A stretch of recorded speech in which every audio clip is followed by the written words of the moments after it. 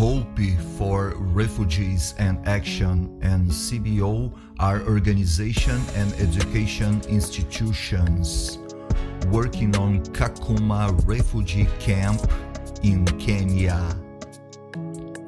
Supporting community on sanitation and hygiene promotion, solid waste management,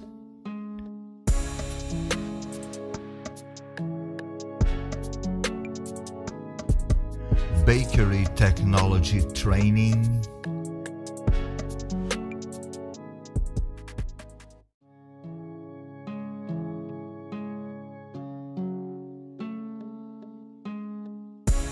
and childhood care and education.